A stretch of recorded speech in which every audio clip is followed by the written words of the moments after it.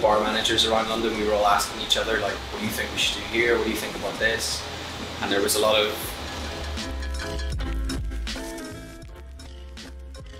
The pub is a serious thing.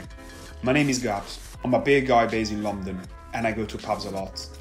Today, British pub culture is at risk. Pubs shut their doors in March 2020 after lockdown forced closure. Now pubs are reopening after months.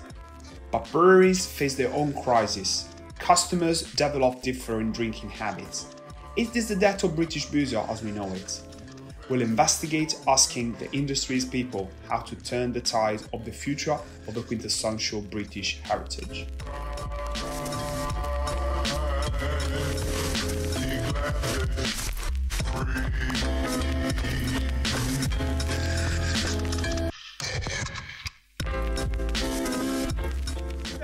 You, you, you will you will have to, to adapt your business. We'll have to keep an eye.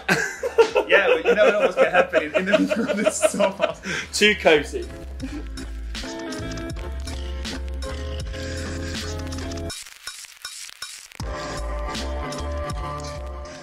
But it is difficult.